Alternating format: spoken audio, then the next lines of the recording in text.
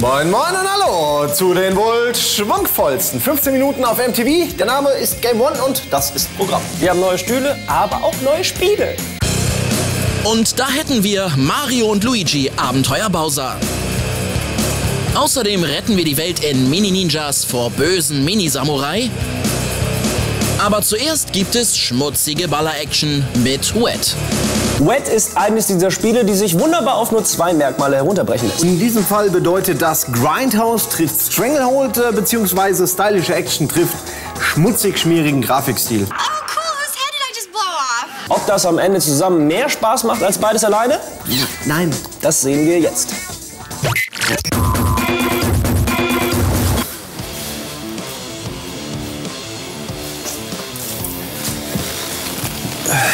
Milch, Vollmilch. Solange es noch welche gibt.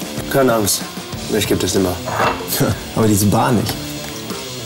Ja, sie ist unterwegs. Ja, Ruby. der ist Ruby. Ruby Malone ist die Hauptfigur in dem Action-Schnetzelklopper Wet. Hauptberuflich ist sie Problemlöserin. Das heißt, wenn es Ärger gibt, schnappt sie sich ihre Knarren und ihr Schwert und räumt in der Unterwelt mal so richtig auf. Mit vollem Körpereinsatz und ohne Rücksicht auf Verluste.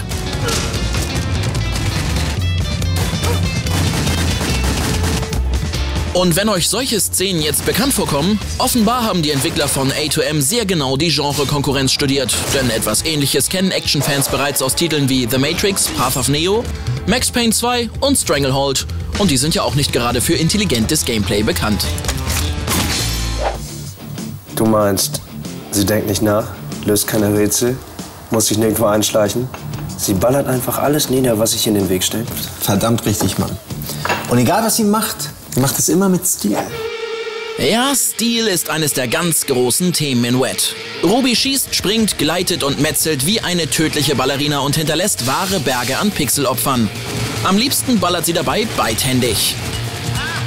Während sie mit einer Hand automatisch den nächsten Gegner anvisiert, könnt ihr mit dem anderen Cursor ganz bequem alle übrigen Lumpen unter Beschuss nehmen. So treibt ihr euren Punktemultiplikator in die Höhe und powert Ruby immer weiter auf. Klingt anfangs ja noch ganz nett, aber schnell zeigt sich eines der großen Probleme von Wet. Noch eine Milch? Ja.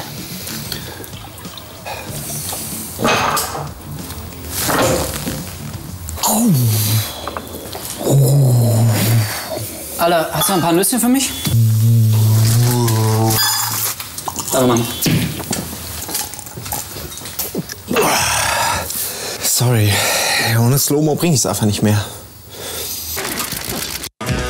Tja, leider kriegt die gute Ruby ohne Zeitlupe gar nichts hin und schießt immer daneben, sodass sich die Tonereien schnell abnutzen, wie so vieles in Wet. Die spielerische Innovationsarmut überdecken die Designer mit dem herrlich trashing Grindhouse-Charme. Grindhouses waren spezielle Kinos in den USA, die vor allem in den 70ern ausschließlich billigste B-Movies gezeigt haben. Spätestens seit dem gleichnamigen Filmprojekt von Tarantino und Rodriguez dürfte das Konzept auch hierzulande bekannt sein. Grisselfilter, eine bekloppte Story und völlig überzogene Action-Einlagen. Es klingt, als wäre Ruby mehr Schein als Sein. Quatsch, Mann. Das ist einfach, äh, ist einfach ihr Stil. Verstehst du? Hier so wie die Bar, so dunkel, düster. Diese ganzen, diese ganzen scheiß Störeffekte, die du hier siehst. Weißt du, das ist doch cool. So cool? Ja, okay. Äh, Das ist vielleicht doch nicht so cool. Selbst der Rage-Modus, in dem Ruby wortwörtlich rot sieht und mal so richtig abgeht, wiederholt sich regelmäßig und langweilt schnell. So besteht Wet von vorne bis hinten aus den immer gleichen Elementen, die sich in immer gleicher Reihenfolge abwechseln. Springen, schießen, Spawntüren schließen, nächstes Level. Heutzutage reicht das einfach nicht mehr. Sorry, Ruby, aber Tarantino hätte das sicherlich viel, viel, viel geiler inszeniert. Da leihen wir uns lieber einen schönen Trashfilm aus der Videothek aus. Ein Next alleine macht noch keine Zukunft. Ab.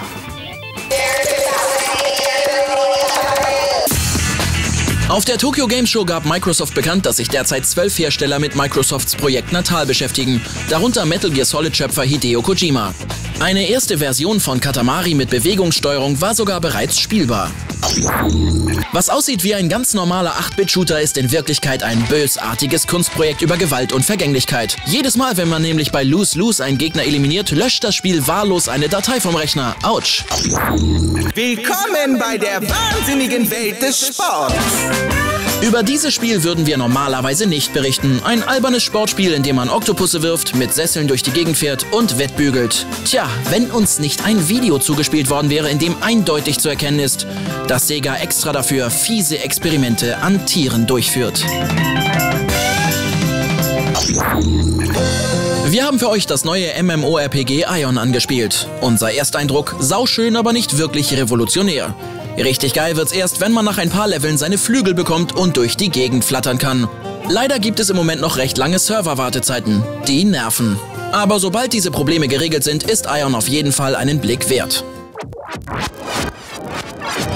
Zum zweiten Mal hintereinander haben wir Ninjas in der Sendung. Dieses Mal sind es aber keine normalen, sondern Mini-Ninjas. Ob es die Mini-Ninjas diesbezüglich mit diesen komischen kleinen doofen Hasen aufnehmen können, prüfen wir jetzt.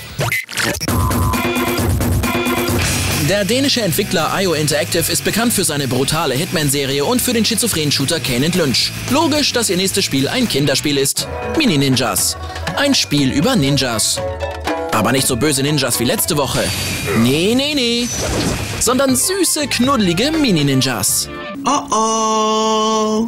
Die Story setzt sich aus liebevoll geklauten Kung-Fu-Klischees zusammen. Euer Ninja bekämpft den sogenannten Evil Samurai Warlord, der standesgemäß alles und jeden unterjochen will. Dabei helfen euch diverse Ninja-Kumpels. Und für alle, die bei Mini-Ninjas sofort an Heinzelmännchen und Gartenzwerge denken, erklären wir jetzt mal, warum Ninjas im Haushalt nicht zu gebrauchen sind. Im Kampf ist es super sinnvoll, wenn man Dinge kaputt kloppen kann. Im Schlafzimmer ist das dagegen kontraproduktiv. Anspringen und anschleichen, toll im Kampf. Beim Müll rausbringen ist es überflüssig, da wundern sich nur die Nachbarn. Ninjas verstecken sich total gerne. Aber als Einrichtungsgegenstände taugen sie leider nichts.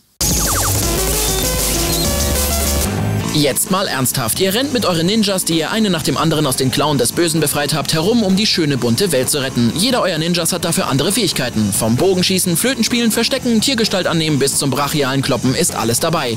In bester Hitman-Manier lassen sich Situationen auf unterschiedlichste Weise lösen. Aber meistens ist es überhaupt gar nicht nötig, denn das Spiel ist einfach viel zu einfach. Das ist schade, denn eigentlich machen die Ninja-Kämpfe Spaß. Und besser im Spiel als auf dem heimischen Dachboden.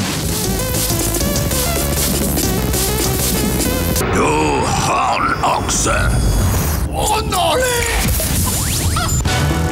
Die vielen schönen kleinen Ideen des Spiels haben es uns echt angetan. Endbosse, die uns mit giftigen Furzgasattacken fertig machen wollen, das ist genau unser Humor. Auch wenn wir langsam keine QTEs mehr sehen können.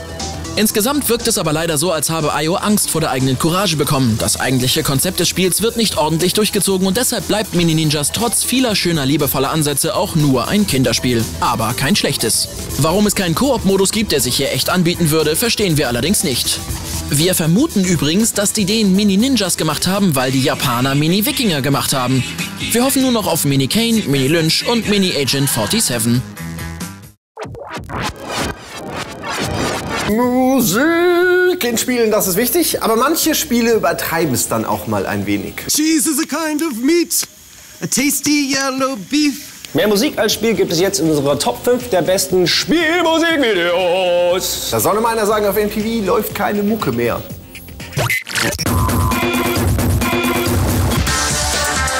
Der Trend geht wieder zum Musikvideo. In Videospielen jedenfalls. Da gibt es inzwischen so viele, da wird es Zeit für unsere Top 5.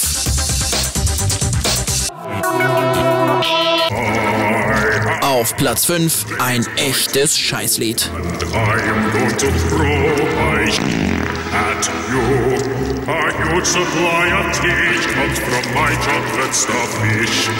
How about some scat, you little toot? Platz 4 wird von der Lieblingsband aller Rollenspieler belegt. Blind Guardian mit ihrem Auftritt in Sacred 2.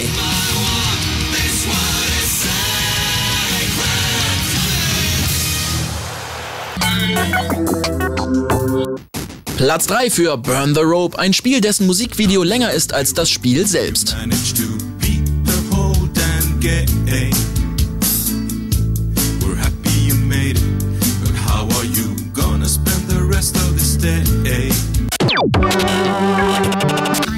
Auf Platz 2 GLaDOS, The Voice.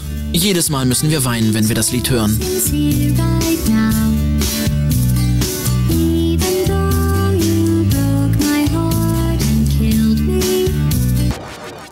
Aber auf der 1 verdient und ungeschlagen Zombies und Pflanzen.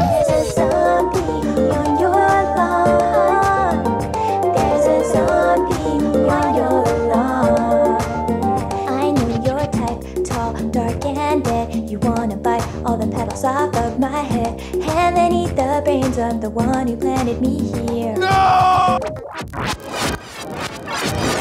Die Mario und Luigi RPG-Serie ist ein Garant für geniales Gameplay, gute Gags und einen zumindest für Nintendo-Verhältnisse ungewohnt ironischen Umgang mit den seltsamen Gesetzen der Mario-Welt. Deswegen verwundert es auch überhaupt nicht, dass Bösewicht Bowser höchstpersönlich für den Inhalt des neuen Teils verantwortlich ist. Und was genau mit Inhalt gemeint ist, das erklären wir euch jetzt. Viel Spaß!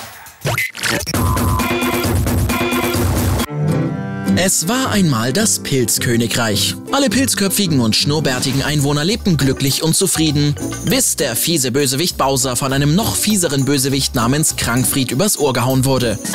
Dieser machte aus Bowser einen gigantischen Superstaubsauger, der das halbe Königreich einsaugte, darunter auch Prinzessin Peach, Mario und Luigi.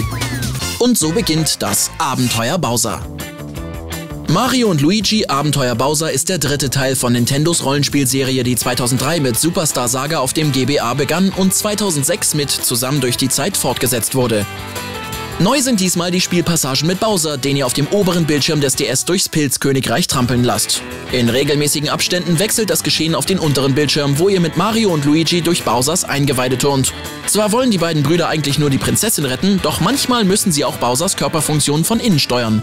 Zum Beispiel seine Armmuskeln. Leiden Sie manchmal unter Verspannungen, Gliederschmerzen oder Kraftlosigkeit?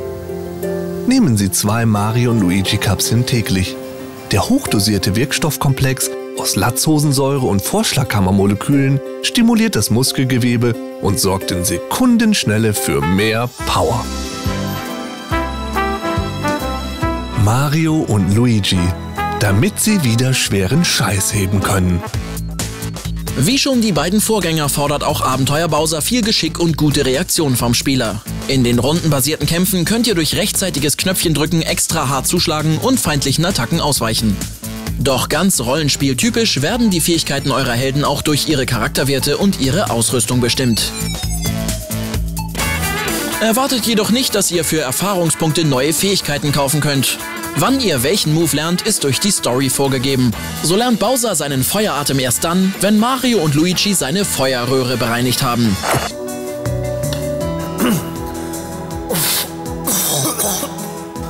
Na, Probleme beim Feuerspeien? Ja, ich habe da so ein Kratzen in der Feuerröhre. Kenn ich. Weißt du, was mir geholfen hat? Mario und Luigi Kapseln. Mario und Luigi Kapseln? Ja, Mario und Luigi Kapseln. Die enthalten ätherische Italiener, die Ablagerungen auf der Feuerröhre schnell und wirksam wegkloppen. Schon kurz nach der Einnahme ist ihr Feueratem wieder da. Der Stylus kommt überraschend selten zum Einsatz, doch dafür sind die wenigen Touchpassagen sehr unterhaltsam und spielerisch sinnvoll ins Spiel eingebunden. Wie in der Szene, in der Bowser eine Riesenmöhre verdrücken muss. Mein Name ist Professor Dr. Stuhl. Sicher kennen Sie das, in der Mittagspause mal schnell eine Tonne Möhren verdrücken. Die Folge? Trägheit, Verdauungsprobleme, Verstopfung. Nehmen Sie deshalb zu jeder Ladung Möhren zwei Kapseln Mario und Luigi. Die probiotischen Klempnerkulturen unterstützen durch gezielte Aktivierung von Digestivenzymen die Verdauung und schaffen so Platz im Magen.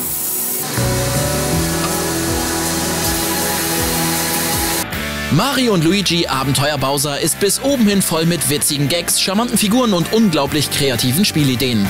Erbsenzähler könnten bemängeln, dass es etwas zu textlastig ist. Doch abgesehen davon ist das Ding eine echte Spaßbombe. Wir machen jetzt an dieser Stelle Schluss, aber weiter geht's auf GameOn.de. Da gibt es noch viel, viel mehr, doch diese Sendung, die ist jetzt leer. Das ist schön. Wiederschauen. Reingehauen. Habe ich mir selbst ausgedacht. Das ist so gut.